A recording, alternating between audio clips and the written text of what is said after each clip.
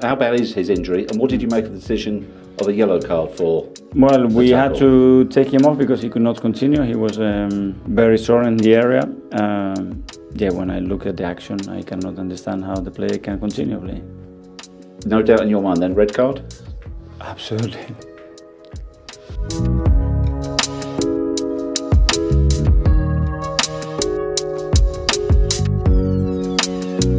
Yeah, Bukayo could not continue. We had to take him off um, at halftime, and uh, yeah, I saw the action, and I cannot believe how um, the player continued on the pitch. Well, you make a straight decision when it's so clear and so obvious. You have to make it straight away, and, and they have to play with ten men. I don't get it. I, for me, it's, um, I don't know. Someone's gonna have to explain it to me because with what we were explaining at the start of the season and what happened tonight, it doesn't make any any sense.